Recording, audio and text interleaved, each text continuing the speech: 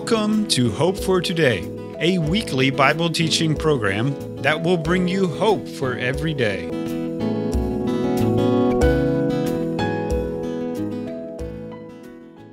Thank you for joining us this week as we continue our study through Exodus. We are now about halfway through the book of Exodus. The rest of Exodus tells us what happened at Mount Sinai. God reveals himself to the children of Israel in ways they have never seen. They learn more about him and experience him at a whole new level. As we are going through this section of Exodus, don't lose sight of the big picture.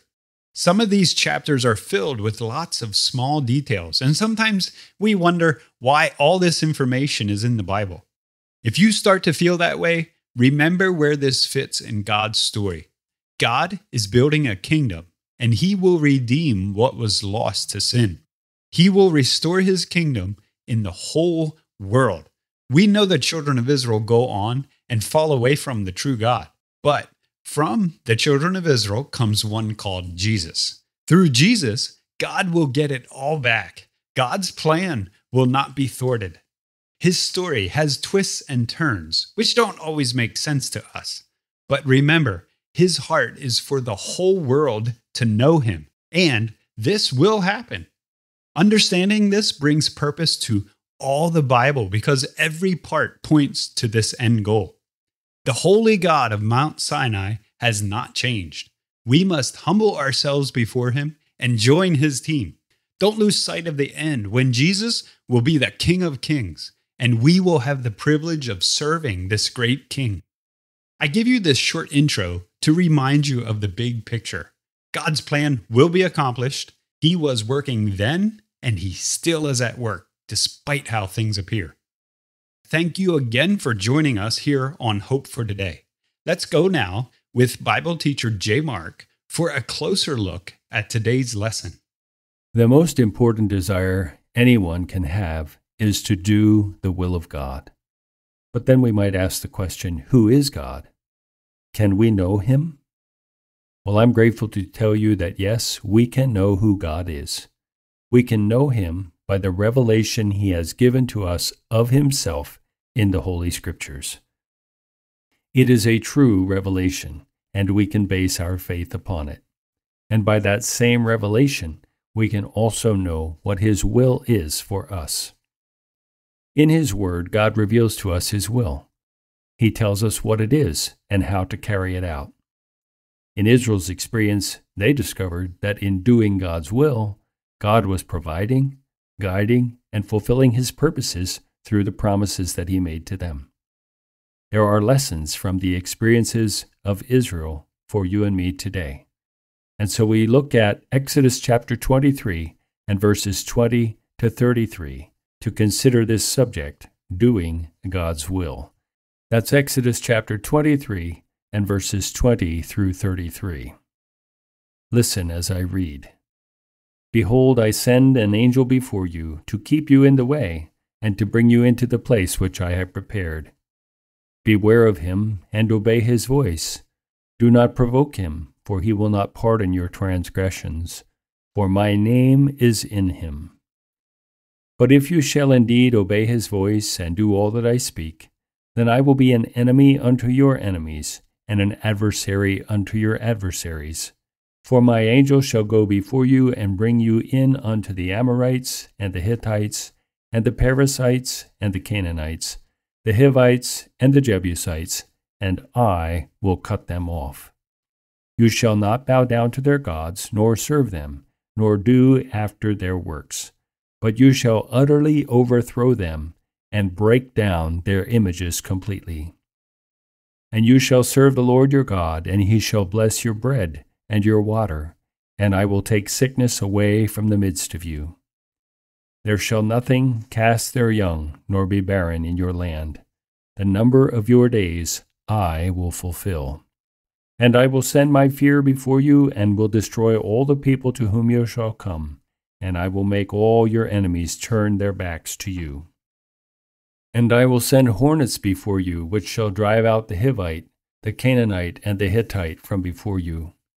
I will not drive them out from before you in one year, lest the land become desolate, and the beasts of the field multiply against you. But little by little I will drive them out from before you, until you be increased and inherit your land. And I will set your boundaries from the Red Sea even unto the sea of the Philistines, and from the desert unto the river. For I will deliver the inhabitants of the land into your hand, and you shall drive them out before you. You shall make no covenant with them, nor with their gods. They shall not dwell in your land, lest they make you sin against me. For if you serve their gods, it will surely be a snare to you. In Israel's experience, then, we find several promises which should encourage you and me to walk in the will of God. The first promise is the promise of secure control. So the Lord said to them, I'm going to send my angel before you. I believe in the ministry of angels. God has a ministry of angels for those who love and serve him. And in the case of Israel, he said, I'm going to send my angel to go before you, to keep you in the way, and to bring you into the place which I have prepared, the place which I have promised. And that guiding angel was to be with them as a constant companion. To me, that's a promise of secure control. God was going to guide them, protect them, and bring them to the place that He had prepared for them. But there's also a warning attached to this, a very important warning, because God said, Beware of him, that is, beware of the angel of the Lord, and obey him. Don't provoke him, because if you provoke him and refuse to obey him, he will not pardon your transgression. I was impressed with the statement that God made about this angel. He said, My name is in him. Now, some Bible scholars believe that this was an appearance of God Himself. There must be more to this heavenly being than just an ordinary angel. This may have been God taking on a physical form to identify Himself with His people, the people of Israel. And so He said, If you will do what I am telling you to do, obey my voice, and do all that I speak, then I will be an enemy to your enemies, and I will be an adversary to your adversaries. God is saying, If you are on my side, I will be on your side. So you have a choice to make. You must come on my side, and then in response, I will come on your side. To Israel, God gave the promise of secure control in guiding them through the wilderness to the promised land. And then in the second place, there is the promise of secure constraint. Again, God warned them You must destroy all the gods of all those other nations. You are not to bow down to their gods or serve them in any way. In fact, you are to utterly destroy them and not have anything to do with them. Overthrow them, break them down. You see, God is a very jealous God. He spoke about that several times to the children of Israel. He is a jealous God, so he doesn't share his place or his glory with any other object of worship. God challenged the people You must define your loyalty. You must make sure that you serve only the Lord God that brought you out of the land of Egypt. So he urged them, and the promise was that they would have secure constraint if they were willing to obey him. Then they would belong to him in a unique way and they would be carrying out his will.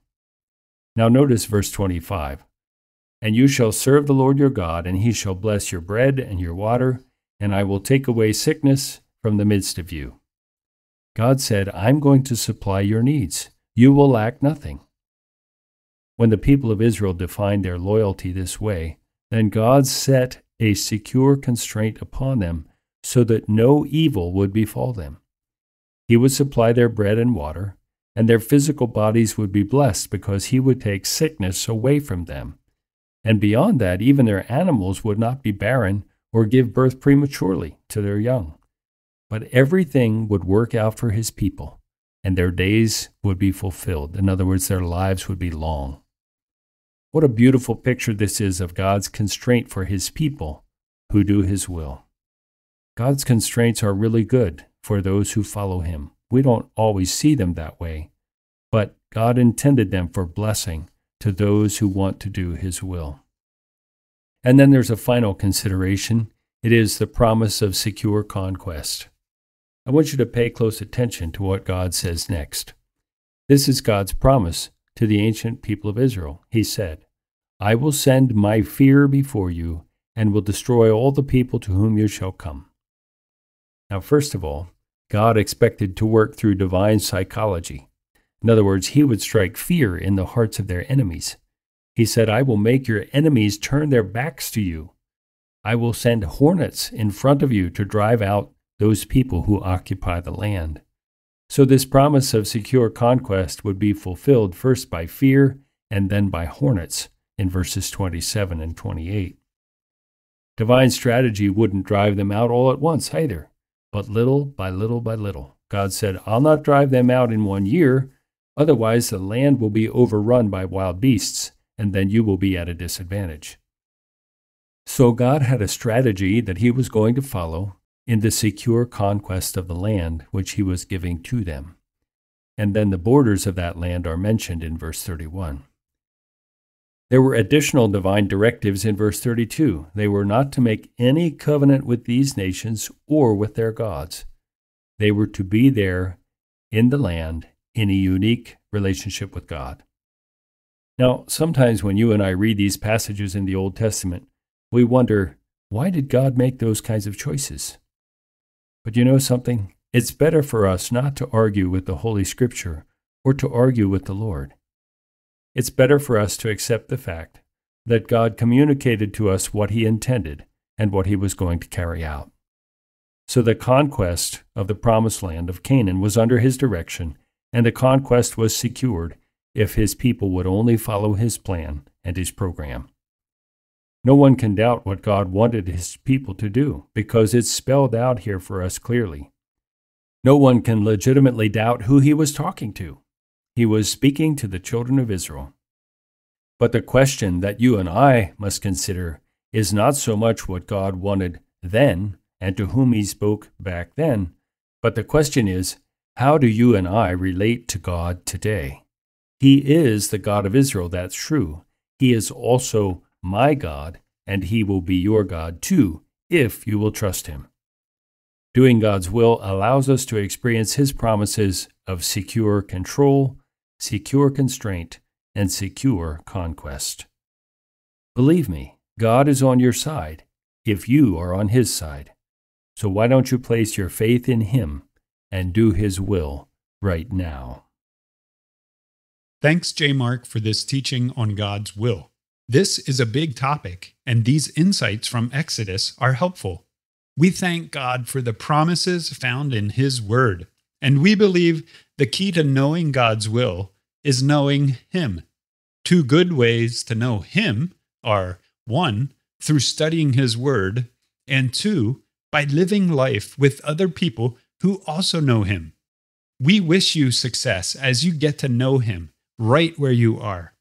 If you'd like a copy of today's teaching, or if you have any questions, here are a few ways you can contact us. The best way is through email. Our email is hope at heraldsofhope.org. If you don't have email, just write to us. Our address is Hope for Today, Box 3, Breezewood, Pennsylvania 15533. Or you can connect with us on our website. Our website is heraldsofhope.org. On our website, you will find other resources, and under the Listen tab, there are other teachings similar to this one. If you go to the Connect tab, you can message us directly. Again, the website is heraldsofhope.org. Thank you so much for joining us. We look forward to being with you next week. Until then, go with God and enjoy growing in your knowledge of Him and living out His will.